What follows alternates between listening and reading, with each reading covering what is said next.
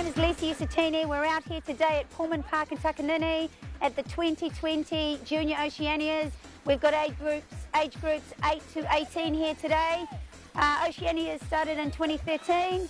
Uh, by 2015 it had grown so big we had to change it from juniors and seniors to separate them. Uh, just to let you know, um, behind the scenes it's months of preparation. Uh, we have an admin team, security team, we have referees, we have marshals, people who pick up rubbish, uh, people who set up and pack down. Uh, there's a lot of work that goes behind, goes on behind the scenes to bring you the event that we've brought you today. Please come down and enjoy it with us out here at Pulman Park in Takanini.